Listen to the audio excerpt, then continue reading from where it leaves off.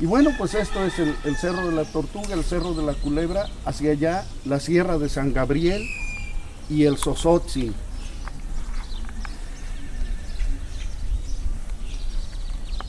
Que luce en este momento muy bonito con todas las nubes del temporal. Eh, hacia allá los, los cerros de Chimalacatlán, el Cerro del Venado.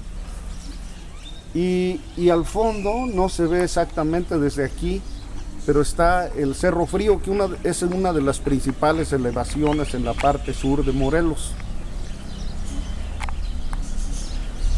En este, en este espacio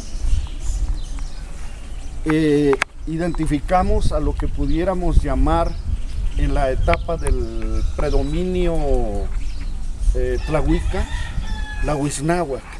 La Tlalnáhuac estaba en la parte norte, el pie de monte de Cuautla, eh, hacia el norte, y obviamente la Cuauhnáhuac, en Cuernavaca.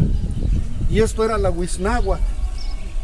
De alguna manera también le llamaban Tamuanchan a este, a este espacio. El obispo Plancarte y Navarrete escribe un libro que es producto de una investigación muy bien documentada, muy bien hecha, que comprende desde tiempos inmemoriales eh, previos a la llegada de los españoles a México y concluye con una tesis muy interesante diciendo que los pobladores, cuando menos algunos de los pobladores de México, vinieron por el seno mexicano, por el Golfo de México, desde la cuenca mediterránea.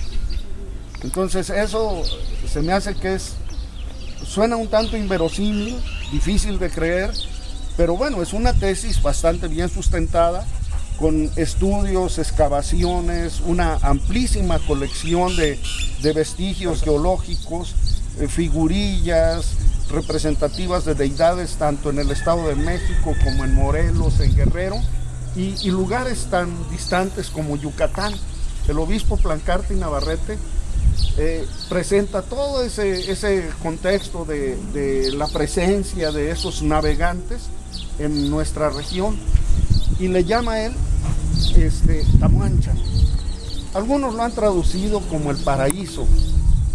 Pudiera ser que, que eso quiera decir, pero la verdad es que necesitaríamos entender un poquito más algunos otros aspectos religiosos y filosóficos